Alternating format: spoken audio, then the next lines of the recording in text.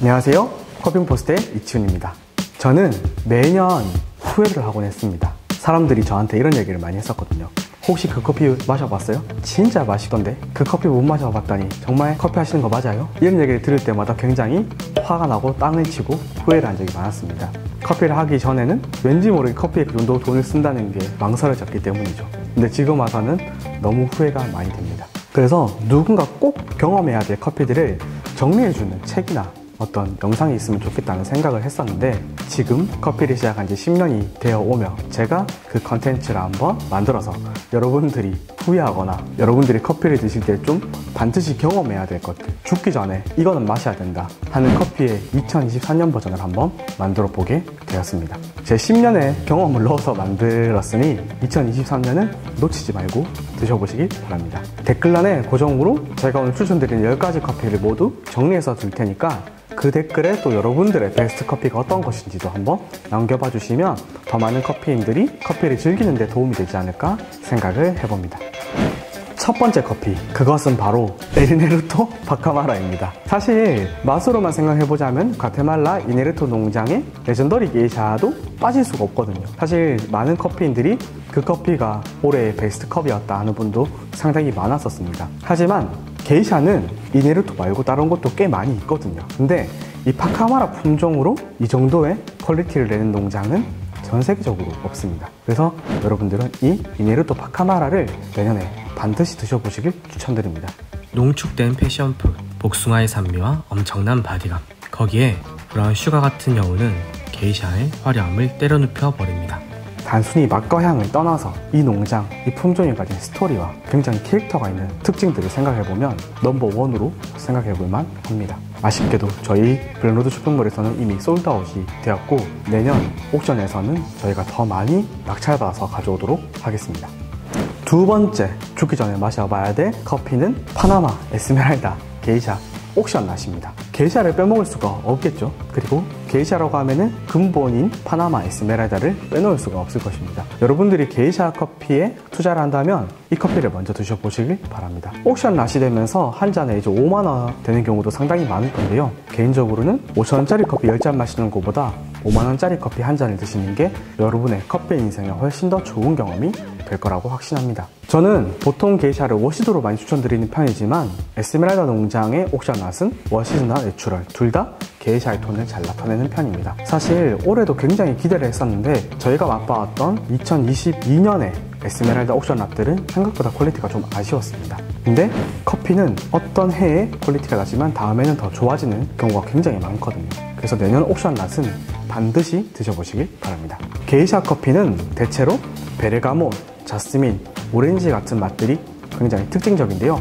에스메랄다 농장의 게이샤 natural은 과일 향들, 베리향에 더해서 이런 느낌들도 굉장히 많이 나오는 편입니다. 세 번째 여러분들에게 추천드리고 싶은 커피 바로 세인트 헬레나입니다. 아, 이 커피를 추천드리면서 이런 말 하면 그렇지만 솔직히 굉장히 맛이 없습니다.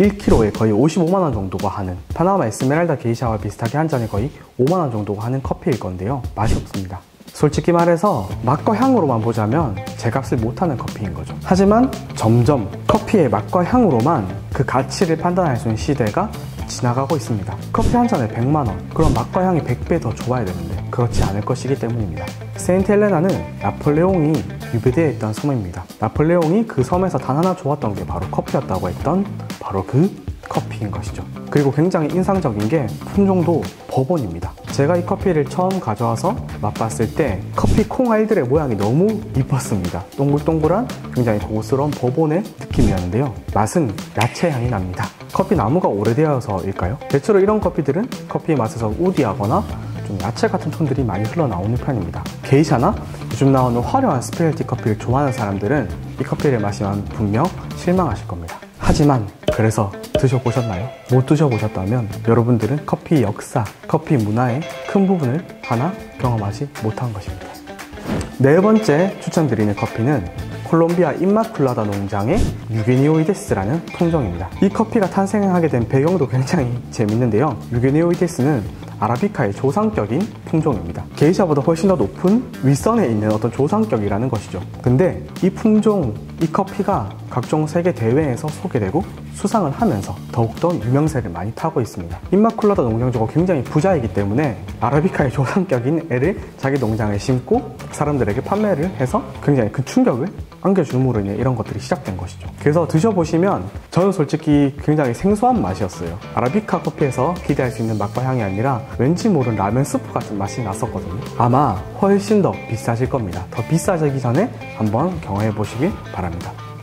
다섯 번째 추천드리는 커피는 바로 예멘 커피입니다. 게이샤가 장악하고 있는 이 시대에서도 예멘 커피도 굉장히 독보적인 하나의 캐릭터를 가지고 있습니다. 유독 한국 사람들은 과일 그리고 꽃향기 이런 것들을 좋아해서 향신료 계열이 베이스가 되는 예멘 커피가 많이 외면받고 있는데요. 커피의 시작은 에티오피아지만 최초의 커피 경력지는 예멘입니다. 그리고 우리가 마시고 있는 수많은 커피들은 예멘에서부터 출발을 했습니다. 그렇기 때문에 예멘 커피는 커피의 역사와 함께 시작했다 해도 과언이 아닌 것이죠. 그리고 최근에는 이 예멘 커피 도 굉장히 많이 주목을 받고 있습니다. 퀴마 옥션이나 예멘에서도 다양한 옥션을 하고 있고 거의 12세대 동안 농장주를 했던 농장 그리고 1년에 60kg만 생산되는 농장 이런 식으로 커피인들이 굉장히 좋아할 만한 요소들이 많이 있습니다. 제가 추천드리는 예멘 커피는 적어도 1kg에 20만원 이상 되는 고가의 예멘 커피를 추천드리고요. 좋은 예멘 커피를 드셔보시면 모든 향들이 다 들어있습니다. 약간의 floral함, spicy한 느낌, tropical한 느낌, 바나나 같은 느낌, 굉장히 복합적인 향들과 body, 그리고 신맛과 단맛, aftertaste까지 거의 모든 커피의 향들이 있는 게 아닌가라는 생각을 할 만한 커피가 바로 예멘 커피입니다. 여섯 번째 추천드리고 싶은 커피는 에티오피아 게이샤 빌리지입니다. 올해 한 해 동안 제가 정말 단순히 맛과 향에서 가장 놀랐던 커피가 이 에티오피아 게이샤 빌리지 1931 게이샤 시리즈였는데요. 정말 그냥 맛만 봐도 어 이거 게이샤네 라고 할 만한 굉장히 좋은 톤들을 많이 가지고 있었습니다. 최근 파나마 게이샤들이 자스민, 베르가목 같은 향들은 좀 많이 나타내지만 산미나 단맛에서 좀 부족한 비어있는 느낌을 가졌다면 올해 게샤 빌리지는 그런 부분들을 꽉꽉 채워서 탄생이 되었습니다. 아마 이 농장을 운영하는 CEO가 미국인이기 때문에 까다로운 QC와 그리고 이 애덤이 워시도보다 내추럴을 굉장히 좋아하거든요. 그래서 정말 화려한 게이샤의 극치를 느껴보고 싶으시다면 내년에도 이 에티오피아 게이샤 빌리지를 경험해 보시기 바랍니다. 기세를 몰고 와서 일곱 번째 추천드리는 커피 바로 코스타리카 동카이토 게이샤입니다. 올해 한 해 동안 특히 로스팅을 하는 roaster들과 얘기를 해보면 동카이토 게이샤에 대한 얘기를 정말 많이 했습니다. 너무 비싸서 구매는 못했지만 auction cupping을 할 때 정말 독보적이었다. 그런 이야기를 많이 들었고 저 또한 COE auction cupping을 하면서 굉장히 놀랐던 커피입니다. 게이샤의 톤은 아니었어요. 오히려 키위 같거나 라벤더 같거나 저는 이 커피가 도대체 무엇인지 모를 만큼 독특해서 끝나고 나서 가장 궁금했던 커피 중에서 하나였습니다. 저는 솔직히 향만 맡아보고 아 뭔가 첨가됐나? 뭔가 잘못된 커피가 아닌가? 생각을 했었고 시간이 지나면서 나타내는 깨끗한 산미통과 정말 달콤한 맛들이 이 커피의 이런 특이한 향들이 잘못된 것이 아님을 증명했던 그런 커피였죠. 그래서 내년에 동카이토에서는 어떤 커피를 출시할까 너무 궁금합니다. 제가 내년에는 또다시 동카이토 농장으로 가서 여러분들에게 더 자세한 소개를 한번 해드리겠습니다. 여덟 번째 추천드리는 커피는 에카도르의 시드라 품종 커피입니다. 게이샤의 자리를 다음에 차지할 품종으로 시드라가 많이 주목받고 있습니다. 전 세계적으로 말이죠. 제가 갔던 콜롬비아, 코스타리카 수많은 농장들에서 이 시드라 품종을 재배하고 있습니다. 근데 이 시드라 품종이 게이샤만큼 자리를 잡기 위해서는 아직 몇 년 더 필요할지도 모릅니다. 그렇기 때문에 여러분들은 2023년도에 시드라를 주목하셔 봐야 되는 것이죠. 올해에도 타자도라다라는 에카도르 골든컵에서 맛봤던 시드라 티피카 blending이 굉장히 좋았었는데요. 1등인 게이샤보다 저희 블랙로드에서는 더 좋은 평을 받았습니다. 바로 크루즈 로마 농장의 시드라 티피카 blending 커피였습니다. 정말 탄탄한 단맛과 화려한 향들이 있던 커피였습니다. 아쉽게도 제가 auction을 하다가 일본 하루 인터내셔널에 이 커피를 빼앗겨 버렸지만 내년에는 꼭 여러분들에게 소개해 드릴 수 있도록 한번 노력해 보겠습니다.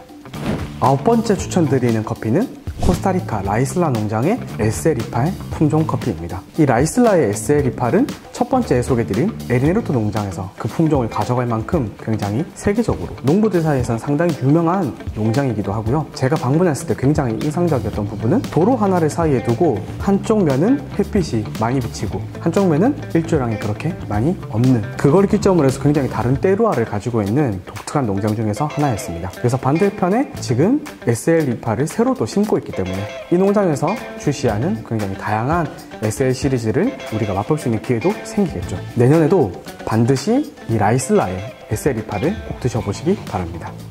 마지막으로 여러분들에게 추천해드리고 싶은 커피는 태국의 커피입니다. 지금 아시아 시장의 스페셜티 커피가 굉장히 많이 성장하고 있다는 사실을 알고 계신가요? 이번 태국 Best of Thailand라는 대회에서 1등을 한 농장은 신기하게도 에스메랄다에서 게이샤 종자를 받아서 심은 농장입니다. 그 농장이 이번에 1위를 하면서 또 태국에서 굉장히 비싼 커피들이 많이 탄생을 하고 있고요. 대만에서는 농장 이름 자체가 게이샤가 들어가는 그런 농장도 있습니다. Zen Forest Coffee Farm이라는 곳인데요. 이 농장의 커피를 내년에도 반드시 한번 드셔보시기 추천드립니다.